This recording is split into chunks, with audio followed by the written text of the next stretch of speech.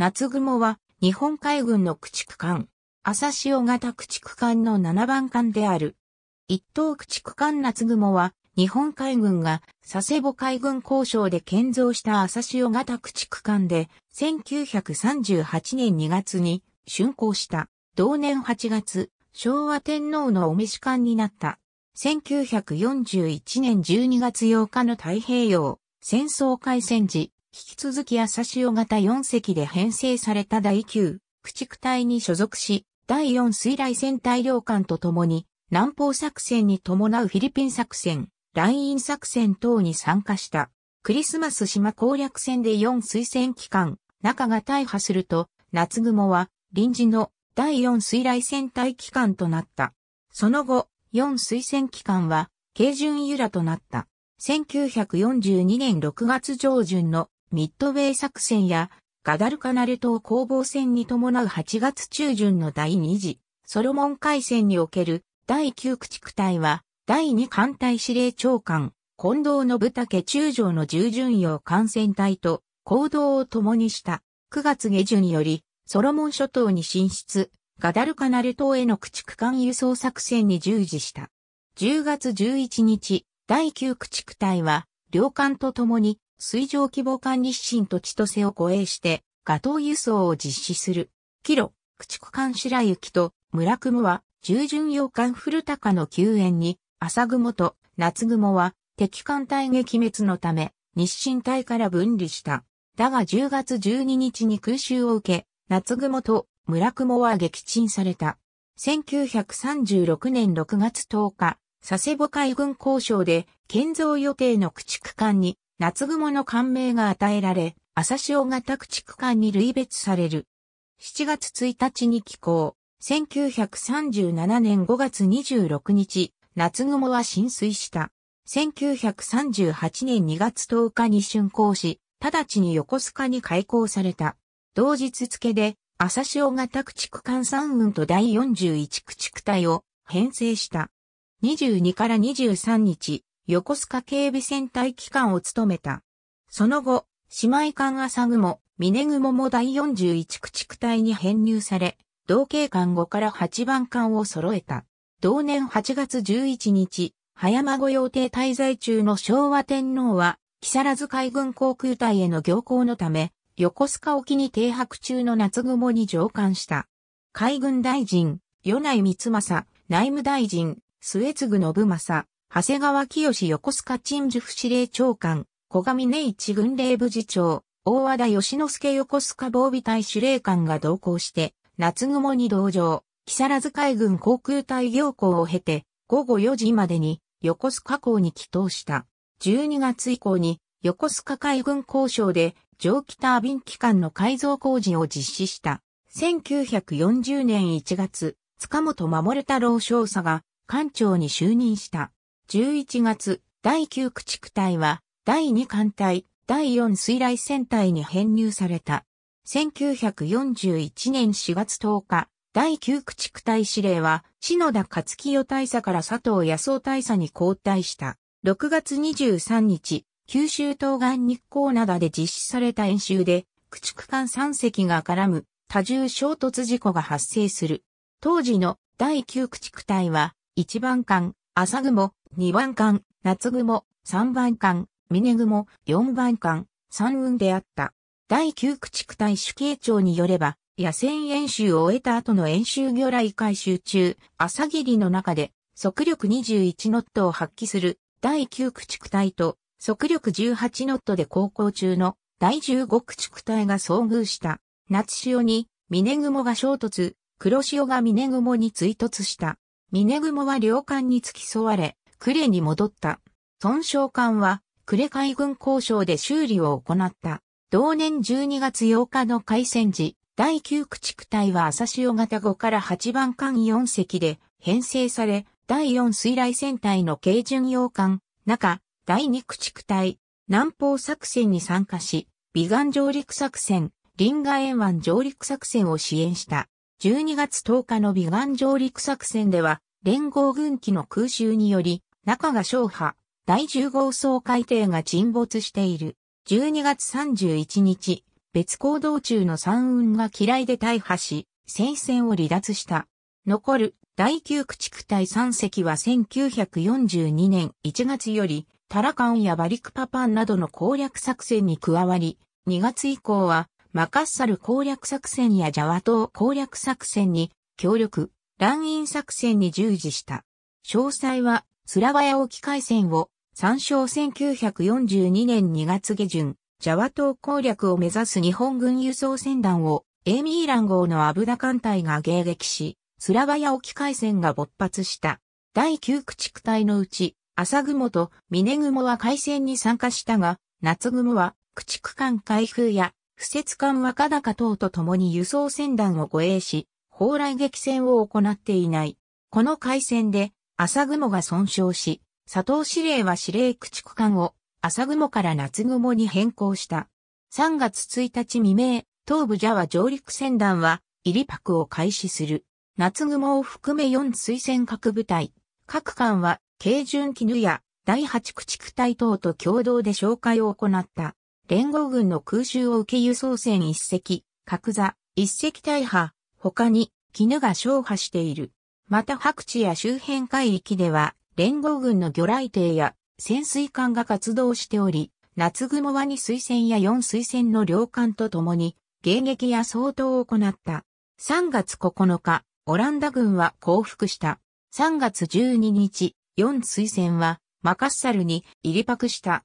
詳細は日本軍のクリスマス島占領を参照3月下旬、夏雲を含む第4水雷戦隊はインド洋クリスマス島攻略作戦に参加した。同党の守備隊は3月31日朝に降伏した。4月1日18時、同党周辺を紹介中の軽巡中、第9駆逐隊、駆逐艦天進風をアメリカ潜水艦シーウルフが襲撃する。中はシーウルフの魚雷攻撃により大破した。中は軽巡ナトリに栄光され、途中から自力で航行可能となる。夏雲以下攻略部隊各部隊、各艦に護衛されてクリスマス島を離れ、4月3日にジャワ島、バンダム湾へ帰島した。6日、夏雲と峰雲は大破した中を護衛し、バンタム湾からシンガポールへ移動した。中はシンガポールに残り、工作艦朝日等の支援を受け、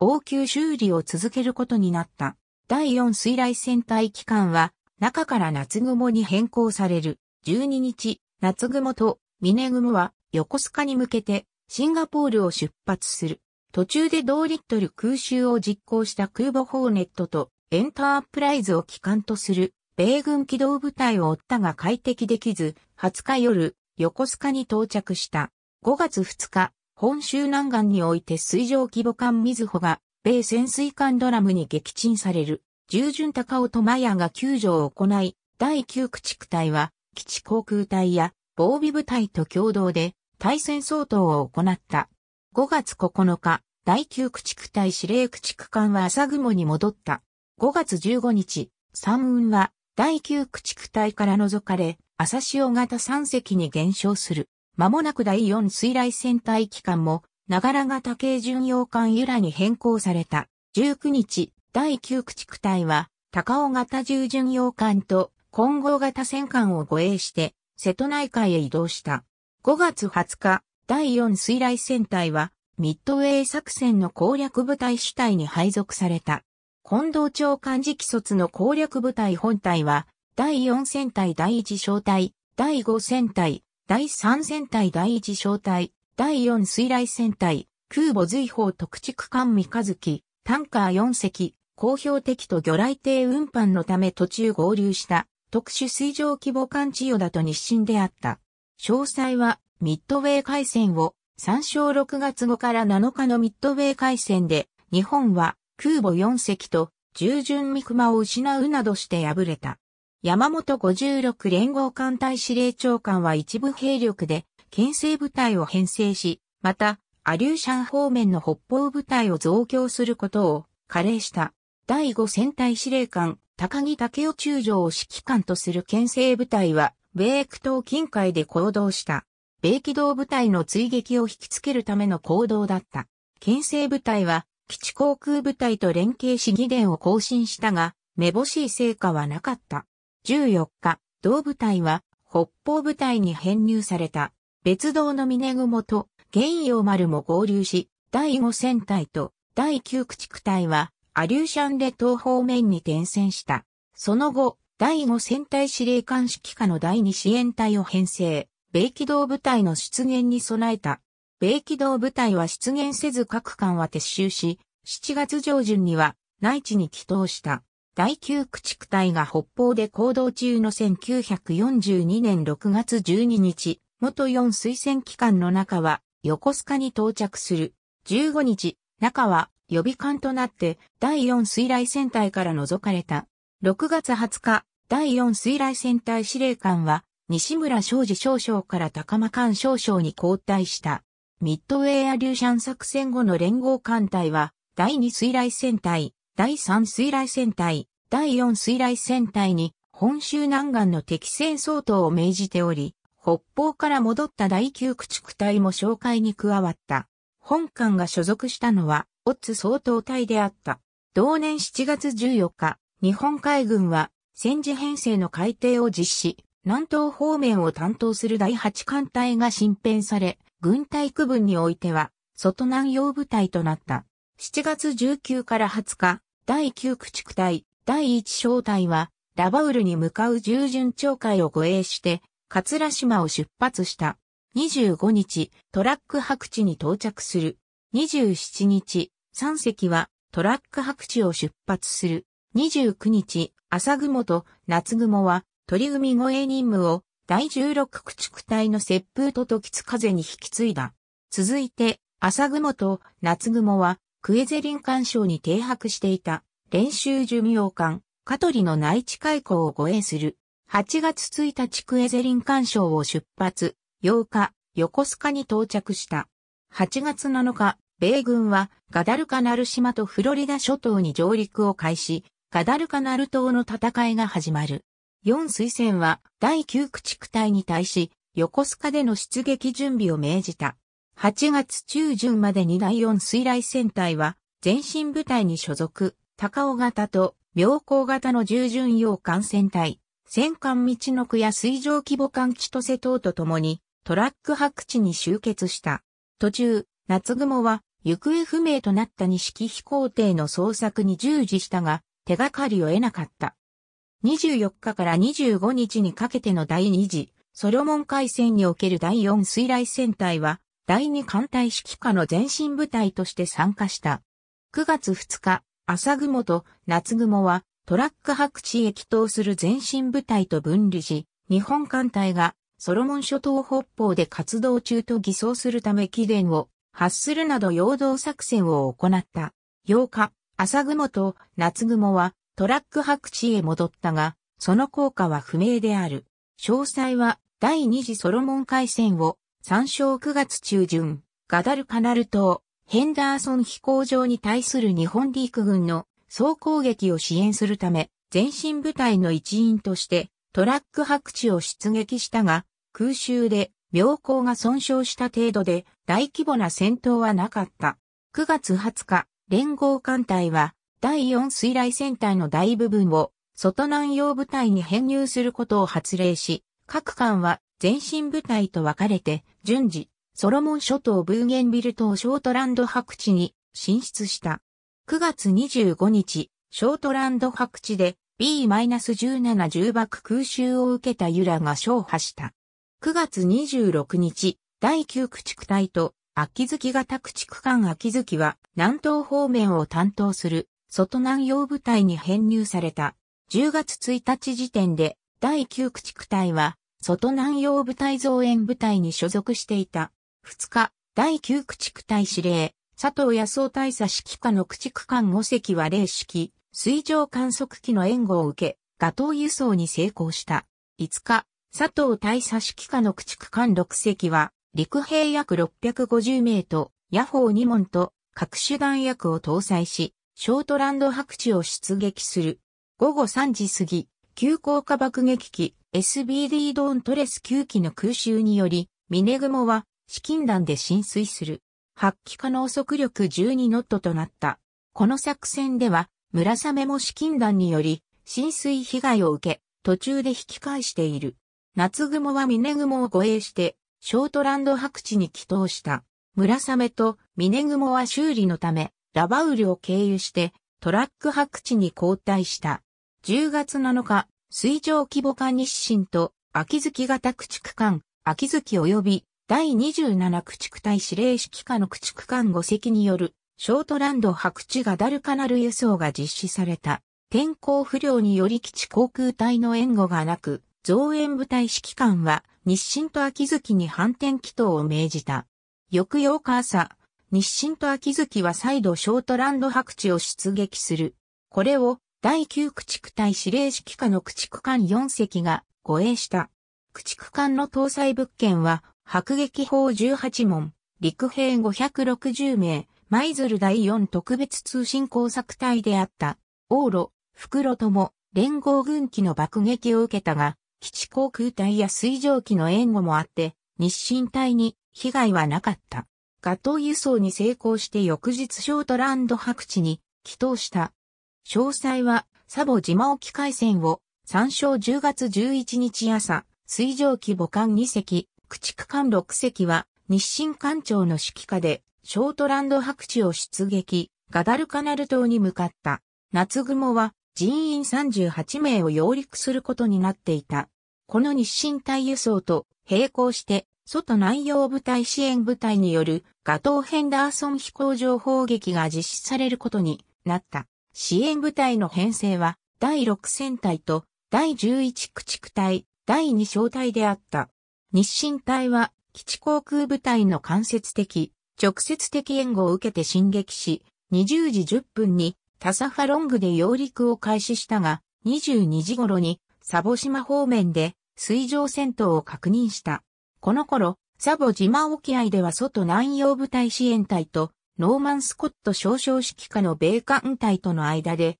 夜間水上戦闘が正規していた。この野戦により、機関青葉は大破して、後藤司令官は戦死、従順古高と駆逐艦吹雪が沈没した。日清隊の揚陸は23時5分に終了し、ラッセル諸島西側を通過して、戦闘海域を離脱した。その頃、絹笠からの戦闘報告を受けた、外南洋部隊指揮官は、米艦隊が日清隊を攻撃することを懸念して、第6戦隊及び駆逐艦破速に突撃敵を攻撃撃滅するとともに日清、千歳を収容、すべしと、加齢し、機下の外南洋部隊増援部隊に、直に出撃日清、千歳を収容、すべしと、加齢した。増援部隊は、ショートランド白地を出撃し、日清隊との合流を目指した。10月12日0020、日清隊は、古高を危機を知り、第11駆逐隊、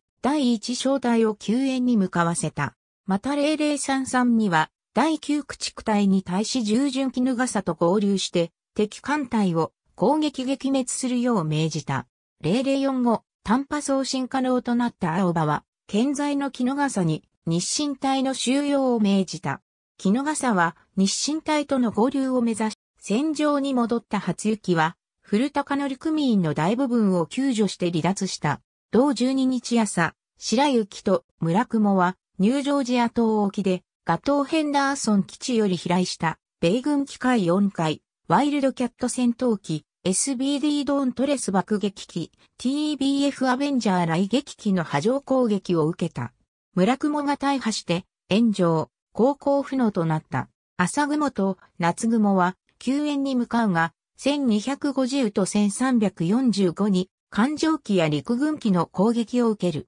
夏雲は資金弾を数発受けた。後部甲板左舷に直撃弾を受けたという階層もある。浸水が進み、佐藤司令は夏雲乗員を朝雲に移乗させた。夏雲は14時27分に沈没した。塚本艦長以下17名が戦死した。沈没地点記録は南緯08度40分統計159度20分、南緯8.667度統計159.333度、マイナス8.667-159.333、または南緯08度46分統計157度18分、南緯8.767度統計157.300度、マイナス8.767-157.300。11月15日、夏雲は帝国駆逐艦石から除籍された。また、朝潮型駆逐艦、第9駆逐隊のそれぞれから除かれた。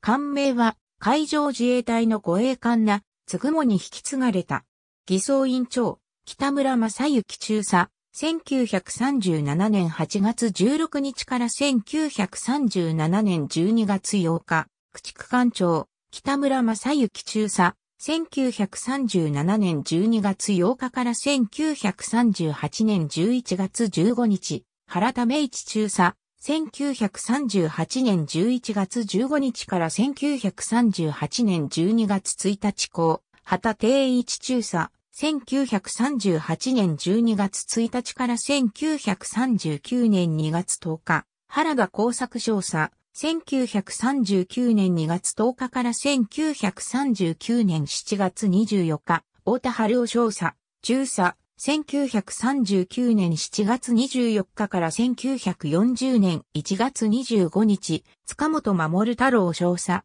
中佐、1940年1月25日から1942年10月12日戦死、同日付任海軍大佐。ありがとうございます。